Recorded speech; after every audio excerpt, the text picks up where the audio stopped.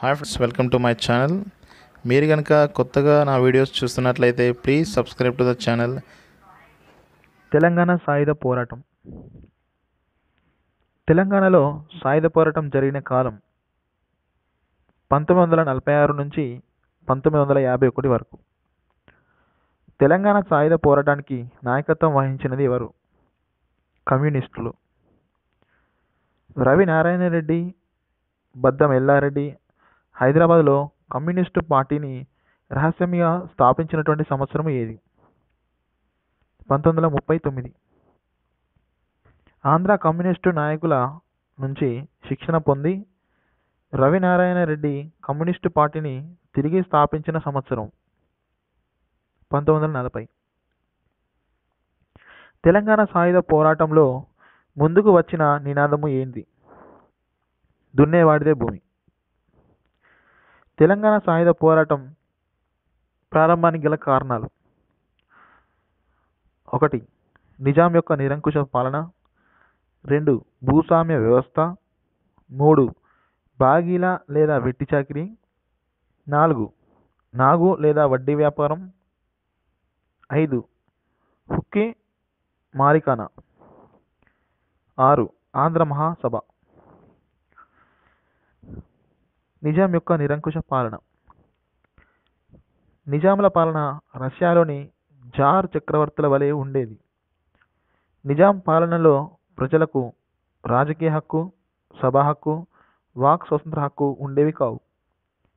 రవి నారాయణ రెడ్డి నిజాం పాలన గురించి పేర్కొన్న విధం నిజాం రాజ్యం కల్కి లేని మధ్యయుగపు భూస్వామ వ్యవస్థ. దాశరథి నిజాం పాలన గురించి పేర్కొన్న విధం మా నిజాం రాజు జన్మ జన్మల బూజు అన్నది దాశరథి. నిజాం రాజ్యం కలికి లేని మధ్యయుగపు భూస్వామ్య వ్యవస్థ అన్నది రవి నారాయణ రెడ్డి. మా నిజాం రాజు జన్మ జన్మల బూజు అన్నది దాశరథి. రెంటల నిజాం పాలన గురించి పేర్కొనడం విధం. పగలేయి ఈ నిజాం కోట ఎగిరేయి ఎర్రబావుట. పగలేయి ఈ నిజాం కోట ఎగిరేయి ఎర్రబావుట అన్నది రెంటల. మా నిజాం రాజు జన్మజన్మల బూజు అన్నది దాశరథి. భూస్వామ్య వ్యవస్థ. నిజాం రాజ్యంలో మూడు రకాల భూములు ఉండేవి. ఒకటి దివానీ లేదా దీన్నే కల్ప అంటారు. రెండు జాగీర్దారి భూములు మూడు సర్ఫే ఖాన్ నిజాం రాజ్యంలో మూడు రకాల భూములు ఉండేవి. దివానీ భూములు లేదా కల్ప భూములు అంటారు. అరవై శాతం భూమి ప్రభుత్వ భూమి శిస్తు కింద ఉండేవి. ఈ భూములను దేశ్ముఖ్ జమీందార్ ఇతర సంస్థా సంస్థానాధీశులకు ఇచ్చేవారు. దివానీ భూములు లేదా కల్ప భూములను అరవై శాతం భూమి ప్రభుత్వ భూశిస్తు కింద ఉండేవి. ఈ భూములను అనగా దివానీ భూములు లేదా కల్ప భూములను దేశ్ముఖ్ జమీందార్ ఇతర సంస్థానాధీశులకు ఇచ్చేవారు. జాగీర్దారీ భూములు. ముప్పై శాతం ఉండేవి. ప్రభుత్వ సేవ చేసినందుకు అధికారులకు ఈ భూములను ఇచ్చేవారు. జాగీర్దారీ భూములు ముప్పై శాతం ఉండేవి. ప్రభుత్వ సేవ చేసినందుకు అధికారులకు ఈ భూములను ఇచ్చేవారు. సర్ఫే ఖాన్ భూములు. ఇవి పది శాతం ఉండేవి. ఇది నిజాం యొక్క సొంత ఖర్చుల కొరకు ఉపయోగించబడేవి. అనగా దివానీ లేదా కల్వ భూములు అరవై శాతం జాగిర్దాని భూములు ముప్పై శాతం సర్ఫే ఖాన్ భూములు పది శాతం.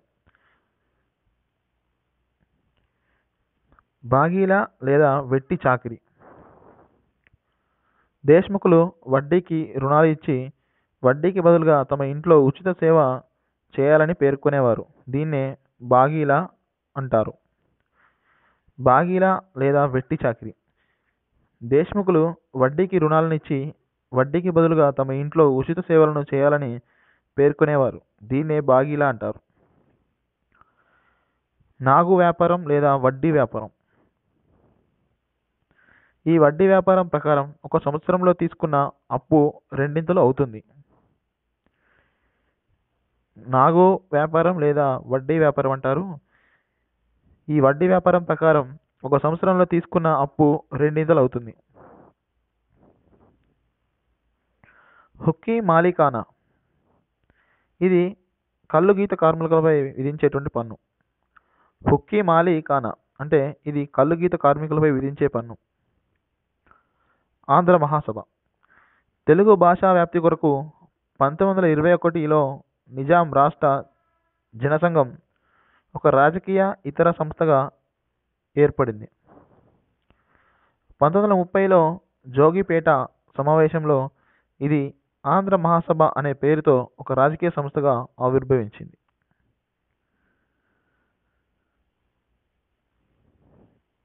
ఈ సంస్థ ప్రధానంగా రైతు రక్షణ కొరకు పౌర హక్కుల కొరకు పోరాటం చేయడం జరిగింది. యువకులైన రవి నారాయణ రెడ్డి బద్దం ఎల్లారెడ్డి మొదలగు వారు ఆంధ్ర మహాసభలో చేరి దాన్ని ఒక కమ్యూనిస్టు సంస్థగా మార్చడం జరిగింది. గతంలో జరిగిన కొన్ని సంఘటనలు. Comrades association.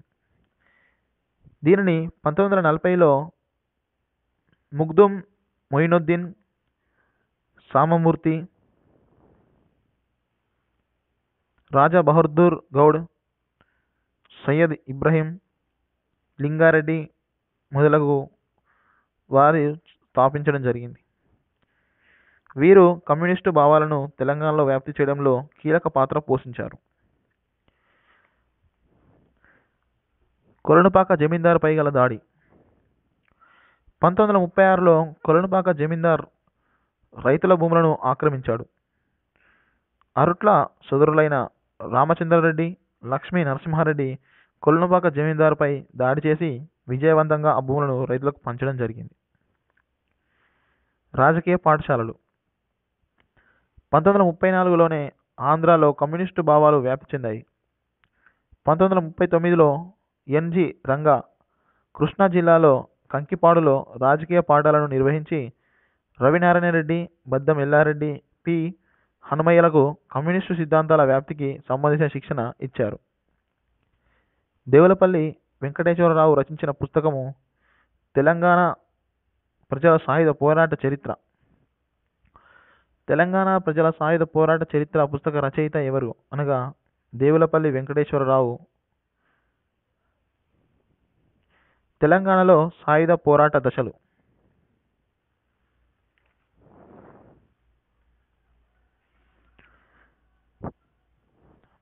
మొదటి దశ పంతొమ్మిది వందల నలభై నుంచి నలభై ఆరు వరకు జరిగింది. రెండవ దశ పంతొమ్మిది వందల నలభై ఆరు జూలై నాలుగు నుంచి పంతొమ్మిది వందల నలభై ఏడు జూన్ పన్నెండు వరకు జరిగింది. మూడవ దశ పంతొమ్మిది వందల నలభై ఏడు జూన్ పన్నెండు నుంచి పంతొమ్మిది వందల నలభై ఎనిమిది సెప్టెంబర్ పదిహేడు వరకు జరిగింది. నాలుగవ దశ పంతొమ్మిది వందల నలభై ఎనిమిది సెప్టెంబర్ పదిహేడు నుంచి పంతొమ్మిది వందల యాభై ఒకటి అక్టోబర్ ఇరవై ఒకటి వరకు జరిగింది. అనగా తెలంగాణ సాయుధ పోరాట దశలు ఎన్ని అనగా నాలుగు దశలు కలవు. ఈ దశ తెలంగాణ మొదటి దశ. తెలంగాణ సాయుధ పోరాట మొదటి దశ పంతొమ్మిది వందల నలభై నుంచి నలభై ఆరు వరకు. ఈ దశలో కమ్యూనిస్టు పార్టీ తెలంగాణలో బలపడుటకు ప్రయత్నించింది. ఈ మొదటి దశలో కమ్యూనిస్టు పార్టీ తెలంగాణలో బలపడుటకు ప్రయత్నించింది. పంతొమ్మిది వందల నలభై ఒకటి నుంచి వెట్టి చాకిరి వ్యతిరేక వారం విద్యా వారోత్సవాలు ప్రభుత్వ లేవి వ్యతిరేక ఉద్యమాలు నిర్వహించి ప్రజలను చైతన్యవంతులను చేయటకు ప్రయత్నించారు. పంతొమ్మిది వందల నలభై ఒకటి నుంచి వెట్టి చాకిరి వ్యతిరేక వారం విద్యా వారోత్సవాలు ప్రభుత్వ లేవి వ్యతిరేక ఉద్యమాలు నిర్వహించి ప్రజలను చైతన్యవంతులను చేయటకు ప్రయత్నించారు. పంతొమ్మిది వందల నలభై నాలుగులో ఆంధ్ర మహాసభ యొక్క భువనగిరి సమావేశం తర్వాత దీని శాఖలు వరంగల్ నల్గొండలలో స్థాపించబడ్డాయి. ఈ శాఖలను సంఘాలు అని ప్రజలు పిలిచేవారు. తెలంగాణ సాయుధ పోరాట మొదటి దశలో అనగా పంతొమ్మిది వందల నలభై నుంచి నలభై ఆరు మధ్యలో నిర్వహించబడ్డ మూడు ప్రధా ప్రధానమైనటువంటి దాడులు. ఒకటి మేకూరు రాఘవరెడ్డిపై దాడి. రెండు రామచంద్రారెడ్డిపై దాడి. మూడు కటారి నరసింహారావుపై దాడి. ఈ ముగ్గురిపైన దాడి జరగడం జరిగింది. ఒకటి మేకూరు రాఘవారెడ్డిపై మేకూరు రాఘవరావుపై దాడి. ధర్మవరం జమీందారు అయిన రాఘవరావు తండాల యొక్క భూములను ఆక్రమించుటకు గూండాలను పంపగా తండాలోని లంబాడీలు ఎదురుదాడి చేసి గుండాలను తరిమివేశారు. రామచంద్రారెడ్డిపై దాడి. రామచంద్రారెడ్డి విసునూరు దేశ్ముఖ్ అరుట్ల రామచంద్రారెడ్డి సహాయంతో దావుద్ రెడ్డి ఇతనిపై దాడి చేసి తాను ఆక్రమించుకున్న బంజరు భూములను రైతులకు పంచడం జరిగింది. కటాల కటారి నరసింహారావుపై దాడి. ఇతను మండ్రాయి మండ్రాయి దేశ్ముఖ్. ఇతను రైతుల యొక్క భూములను ఆక్రమంగా ఆక్రమించడంతో అరుట్ల రామచంద్రారెడ్డి సుమారు మూడు వేల మందితో దేశ్ముఖ్పై దాడి చేసి ఆ భూములను రైతులకు పంచడం జరిగింది. తెలంగాణ సాయుధ పోరాటంలో రెండవ దశ. పంతొమ్మిది వందల నలభై ఆరు జూలై నాలుగు నుంచి పంతొమ్మిది వందల నలభై ఏడు జూన్ పన్నెండు వరకు. నల్గొండ జనగాం తాలూకా పాలకుర్తిలో ఐలమ్మ అనే మహిళ యొక్క పంటను ఆక్రమించుటకు జనగాం దేశ్ముఖ్ రామచంద్రారెడ్డి గుండాలను పంపాడు. పక్క గ్రామాలకు చెందిన దేవకుప్పం కడివెండి గ్రామ సంఘం సభ్యులు దేశ్ముఖ్ సహకార సహకారంతో వారిని తరిమివేశారు. జనగాం లేదా విష్ణూరు దేశ్ముఖ్ రామచంద్రారెడ్డి పంతొమ్మిది వందల నలభై ఆరు జూలై నాలుగున కడివెండి గ్రామంలోని సంఘం నాయకులపై దాడి చేయుటకు గుండాలను పంపాడు. కమ్యూనిస్టులు నల్గొండ జిల్లాలలో భూస్వామి వ్యతిరేక ఉద్యమాలకు తీవ్ర తీవ్ర రూపం చేయడం జరిగింది. మాచిండిపల్లి ఆకునూరు గ్రామాలలో దేశ్ముఖ్కి వ్యతిరేకంగా పోరాటం చేశారు. గాంధీజీ ఈ ఉద్యమాల గురించి ఒక నివేదిక పంపాల్సిందిగా పద్మజాన పద్మజ నాయకుడికి కోరడం జరిగింది. సూర్యాపేటలో బాలేముల గ్రామంలో మల్లారెడ్డి సంఘం సభ్యుల సభ్యుణ్ణి పోలీసులు హతమార్చారు. సూర్యాపేటలో బాలేముల గ్రామంలో మల్లారెడ్డి సంఘం సభ్యుల్ని పోలీసులు హతమార్చారు. దీని తర్వాత భూస్వామ్య వ్యతిరేక ఉద్యమాలు నల్గొండ వరంగల్ కరీంనగర్లో వ్యాపించాయి. పంతొమ్మిది వందల నలభై ఆరు అక్టోబర్లో కమ్యూనిస్టు నాయకులు అల్వల్ స్వామి అరెస్టు చేయబడ్డాడు. కమ్యూనిస్టు నాయకులైన రవి నారాయణరెడ్డి బద్దం ఎల్లారెడ్డి మొదలగు వారు విజయవాడకు పారిపోయారు. వీరు విజయవాడను స్టాలిన్ గ్రాడ్గా పరిగణించారు. పంతొమ్మిది వందల నలభై ఆరు నవంబర్లో హైదరాబాద్లో కమ్యూనిస్టు పార్టీపై నిషేధం విధించబడింది.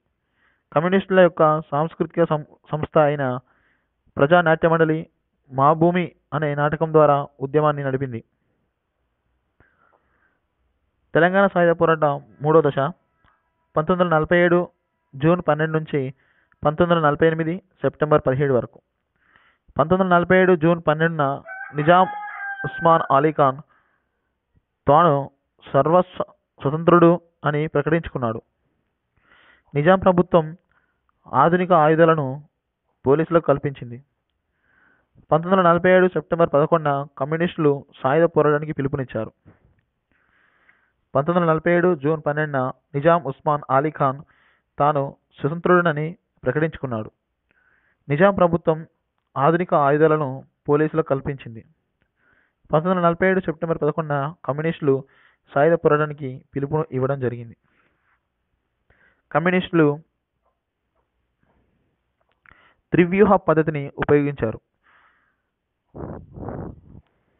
ఒకటి భూస్వాములు లేదా వడ్డీ వ్యాపారులు పోలీస్ స్టేషన్పై ఒకేసారి దాడి చేసి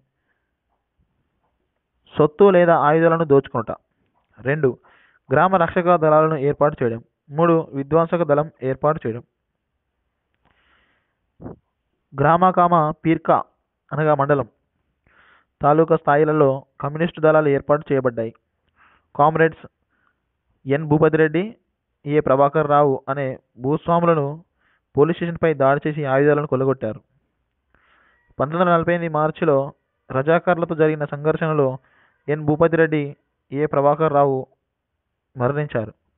కమ్యూనిస్టులు రాత్రి పాఠశాలలను నెలకొల్పి ప్రజలను చైతన్యవంతులు చేయడం జరిగింది. కమ్యూనిస్టులు ఉద్యమ వ్యాప్తి కొరకు చందాలను కూడా వసూలు చేసేవారు. పగటి వేళ ప్రజలకు రజాకారులు వేధించేవారు. రాత్రిపూట కమ్యూనిస్టులు పీడించేవారు. నిజాం ఉస్మాన్ అలీ ఖాన్ స్వతంత్ర రాజ్యమును ఏర్పాటు చేయుటకై తన దృష్టిని సారించి కమ్యూనిస్టుల అణచివేత చర్యలను ఆపివేశాడు. చివరగా పంతొమ్మిది వందల నలభై ఎనిమిది సెప్టెంబర్ పదిహేడున ఆపరేషన్ పోలో ద్వారా హైదరాబాద్ భారతదేశంలో విలీనమైంది. తెలంగాణ సాయుధ పోరాట నాలుగో దశ. పంతొమ్మిది వందల నలభై ఎనిమిది సెప్టెంబర్ పదిహేడు నుంచి పంతొమ్మిది వందల యాభై ఒకటి అక్టోబర్ ఇరవై ఒకటి వరకు. నిజాం భారతదేశంలో కలిసిపోయిన తర్వాత భూస్వాములు తిరిగి గ్రామాలకు చేరుకున్నారు. దీంతో కమ్యూనిస్టులు గ్రామాలను వదిలి అడవుల్లోకి పారిపోయి గెరిల్లా పోరాటం ప్రారంభించారు. హైదరాబాద్లో సైనిక గవర్నర్ జనరల్ అయిన జనరల్ చౌదరి కఠినమైన చర్యలను తీసుకొని కమ్యూనిస్టులను అణిచివేశారు.